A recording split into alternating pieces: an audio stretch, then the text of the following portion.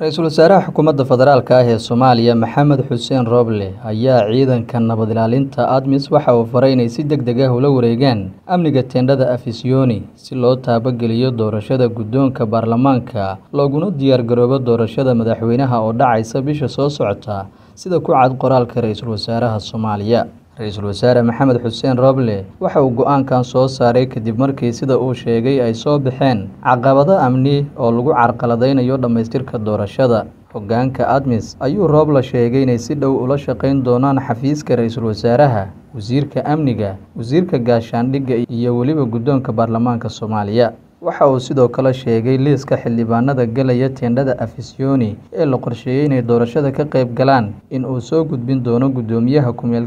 ah kadibna ay hubinayaan admis oo xafiiskiisa u soo gudbinaya hase yeeshee warka ka soo baxay ra'iisul wasaaraha soomaaliya waxaa ka soo horjeestay madaxweynaha dowladda federaalka ah maxamed cabdulaahi farmaajo oo sheegay in sugidda amniga doorashada ay mas'uul ka yihiin ciidanka booliska soomaaliya. Qoraal ka soo baxay xafiiska madaxweyne farmaajo ayaa lagu sheegay sida ku cad habraacyadii iyo heshiisyadii doorasho ee golaha wadatashiga qaranka in guddiga amniga doorashada uu guddoomiye u yahay taliyaha ciidanka booliska soomaaliya iyaguna ay mas'uul ka yihiin sugidda amniga doorashooyinka dalka ka dhacaya. Howlgalka admis ayuu sheegay inay ku shaqeeyaan hanaanka u degsan doorashooyinka oo uu hormuud u yahay taliyaha ciidanka booliska soomaaliya. Madaxweyne farmaajo ayaa sheegay in golaha shacabku uu yahay hay'ad astaan u ah matalaadda iyo madax bannaanida shacabka soomaaliyeed. Amniga xarumaha ay ku shaqeynayaanna ay mas'uul ka yihiin ciidanka booliska soomaaliya. Ugu dambeyntii madaxweyne farmaajo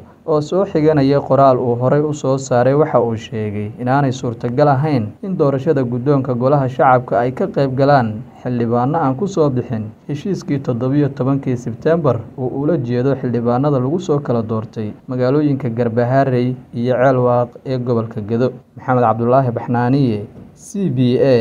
muqdisho